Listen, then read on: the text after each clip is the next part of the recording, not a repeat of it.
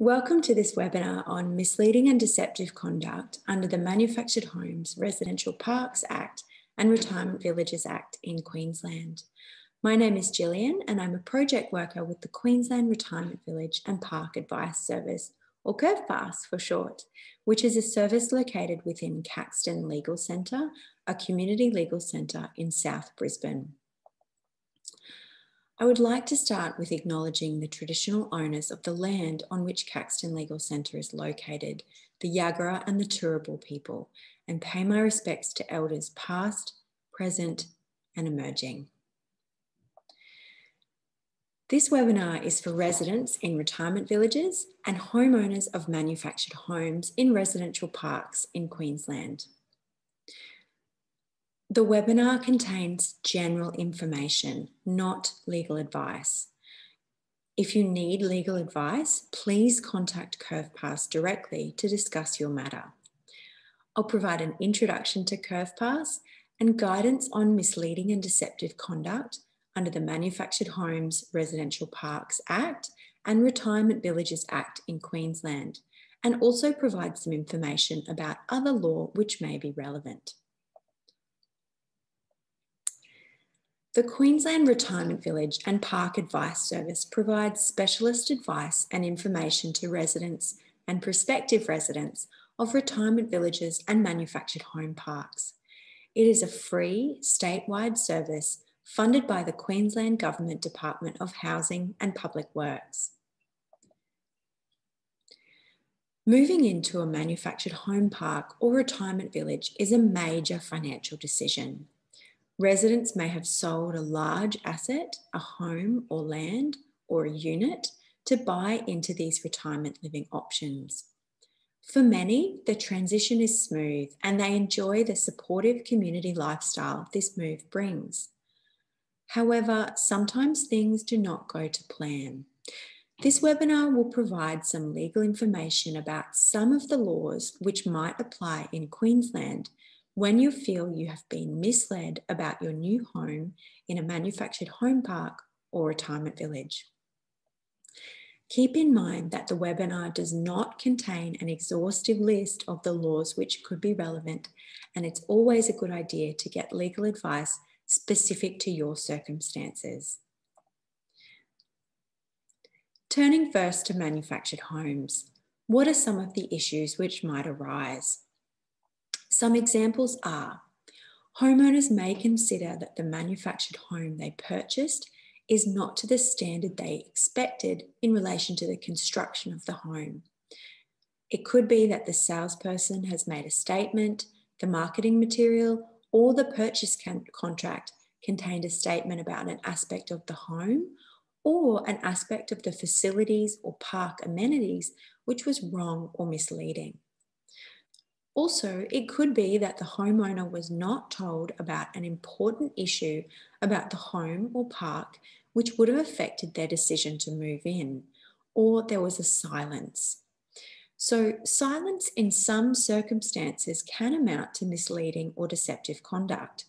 Conduct is not limited to words or positive representations. But whether silence does constitute misleading or deceptive conduct always depends on the circumstances of the particular matter. For manufactured homes, it's important to recall that there are two separate agreements.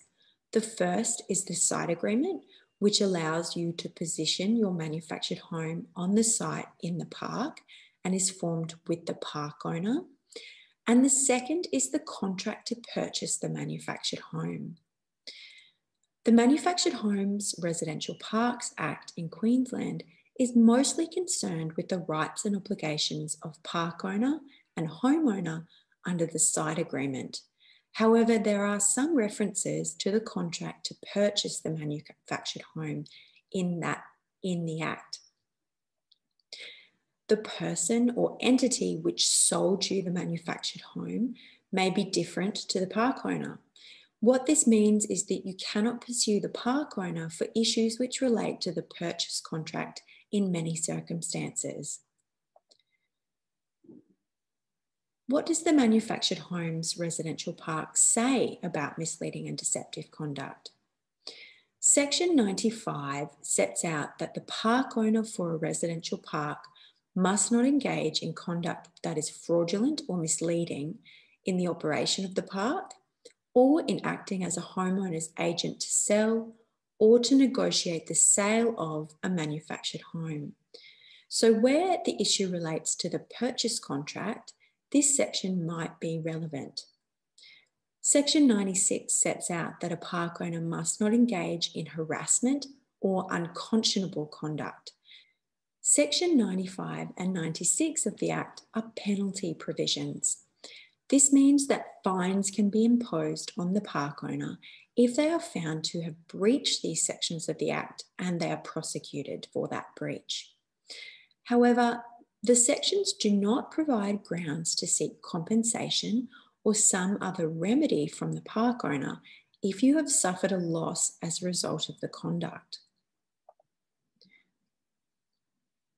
Section 72, subsection 1c, also sets out that homeowners can apply for a rent reduction if communal facilities or services described in advertising or in a document made available to the homeowner before they move in have not been made available.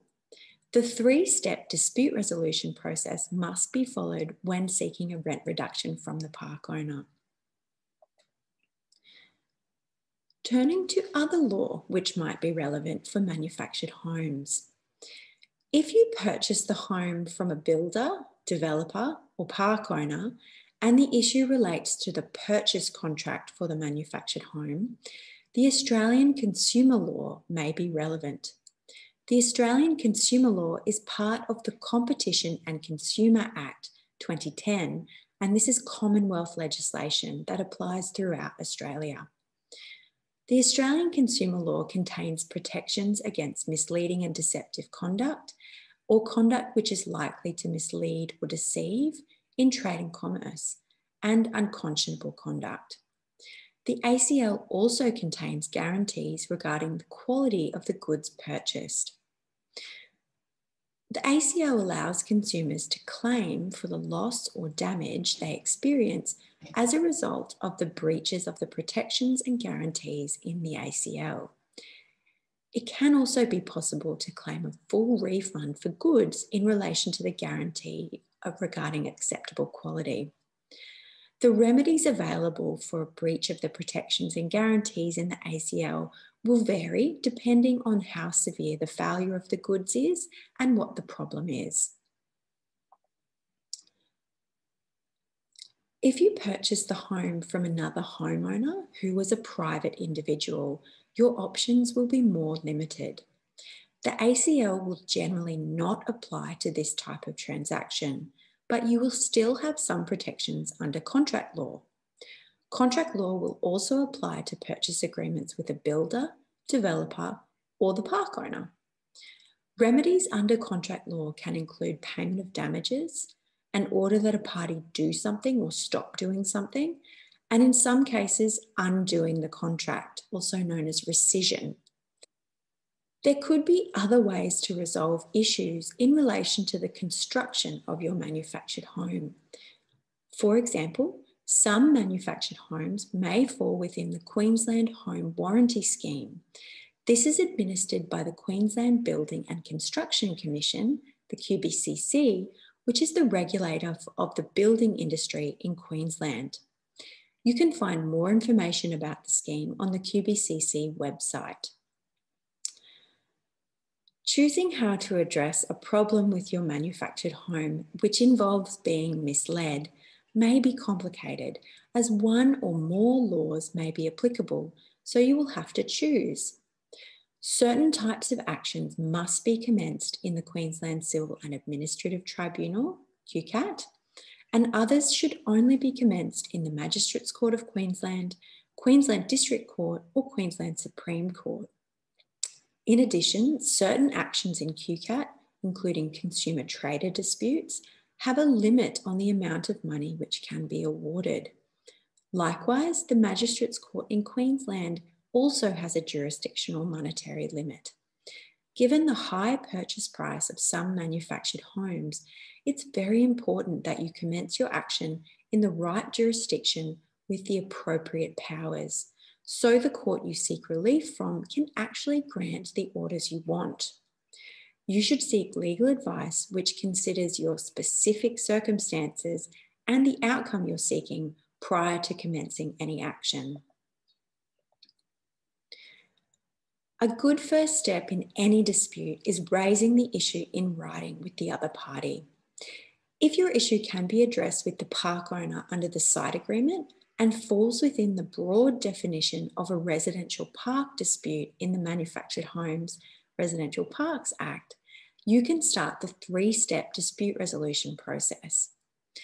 If not, the first step is drafting a letter of demand to the other party setting out the issues. You can find more information about the dispute resolution process for manufactured homes in our webinar on this topic. And you can access a self help kit regarding drafting a letter of demand on Caxton's website. Keep in mind that time limits will apply to some actions, and these may have started running at the time the purchase contract for the manufactured home was entered. Turning next to retirement villages. Some of the issues which might arise include that the information contained in the disclosure documents given to the resident prior to purchasing the right to reside were wrong or misleading. The salesperson made a statement or the marketing material contained a statement about an aspect of the village or your unit which was wrong or misleading. Or the resident was not told about an important issue about the village which would have affected their decision to purchase the right to reside in the unit. So, silence. Again, silence may amount to misleading or deceptive conduct considered against all the other circumstances of the matter. What does the Retirement Villages Act say? Section 86 sets out that a scheme operator or a representative of that operator must not, in the operation of a retirement village scheme, engage in conduct that is misleading or deceptive or is likely to mislead or deceive. There is an example in the Act, so giving of false or misleading information, either orally or in writing, to the chief executive or a resident or prospective resident. In 2017, amendments were made to the Retirement Villages Act. One of those was to change Section 86. Prior to these amendments coming into effect, Section 86 only referred to false and misleading documents. If the conduct in question happened before the amendments, which make it clear that oral or, or written misrepresentations are covered, this previous version of Section 86 will be the applicable law. What this means is if the misleading conduct was verbal, for example, the salesperson said something to you when showing you the village which turned out not to be true, then Section 86 prior to the amendments may not be appropriate. You should make sure to get legal advice which considers the timing of when you say you were misled to work out which version of this section is relevant to you. Section 170 of the Retirement Villages Act provides that if a resident has been materially prejudiced by a contravention of Section 86, QCAT may set aside the resident's contract. If QCAT decides to set aside the resident's contract, they could also make other orders which accompany this, including about payment of money related to the contract. However, QCAT has previously indicated that it is unable to make orders which do not include setting aside a residence contract. This means that residents who want to continue living in the village should think carefully about whether this is an appropriate legal option to pursue if they've been misled. What other laws might be relevant for retirement villages?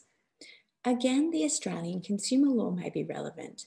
containing protections against misleading and deceptive conduct or conduct which is likely to mislead or deceive, and against unconscionable conduct.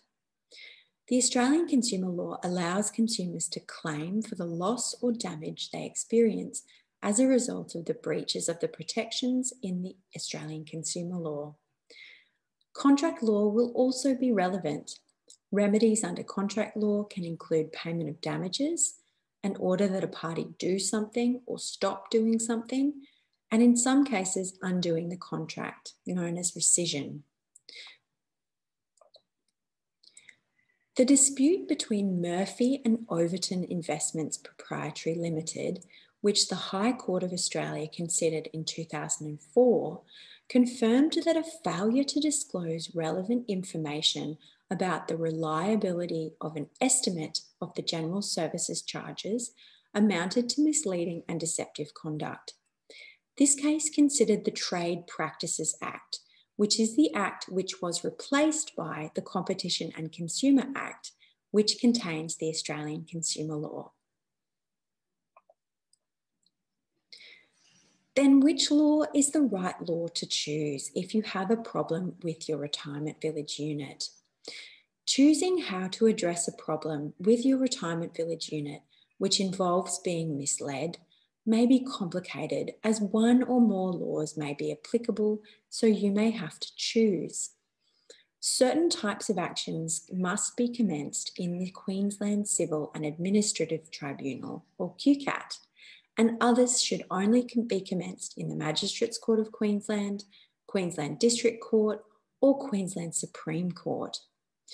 In addition, certain actions in QCAT, including consumer trader disputes, have a limit on the amount of money which can be awarded. Likewise, the Magistrates Court can only award amounts up to a certain value. Given the high price for moving in into retirement villages, it is very important that you commence any action in the right jurisdiction with the appropriate powers, so the court you seek relief from can actually grant the orders you want you should seek legal advice which considers your specific circumstances prior to commencing any action. A good first step in any dispute is raising the issue in writing with the other party.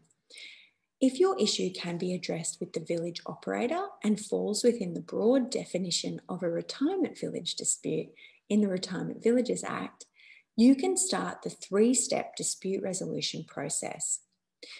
If not, the first step is drafting a letter of demand to the other party, setting out the issues.